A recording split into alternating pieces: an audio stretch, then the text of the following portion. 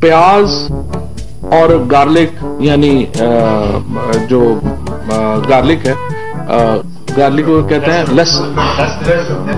Less. नहीं, अदरक। Garlic is अदरक सॉरी गार्लिक अदरक.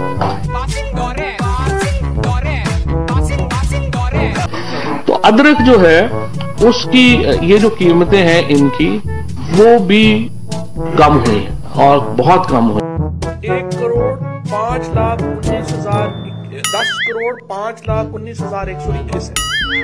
दस करोड़ पाँच लाख एक करोड़ इक्यावन पाँच लाख उन्नीस हज़ार। प्याज और गार्लिक, यानी जो गार्लिक है गार्लिक को कहते हैं लेस लेस नहीं, अदरक। गार्लिक इज़ अदरक सॉरी गार्लिक अदरक। तो अदरक जो है उसकी ये जो कीमतें हैं इनकी वो भी कम हुई और बहुत कम हुई.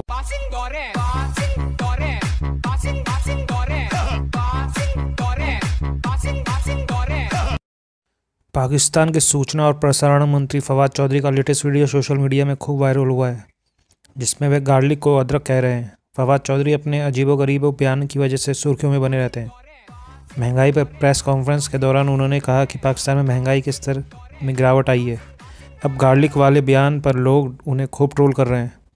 लोगों का कहना है कि गार्लिक का मतलब लहसुन होता है, ना कि अदरक।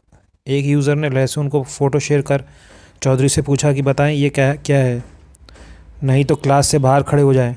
इससे पहले फवाद चौधरी ने कहा था कि उग्रवाद के पीछे का प्रमुख कारण मदरसे नहीं, बल्कि स्कूल और कॉलेज हैं।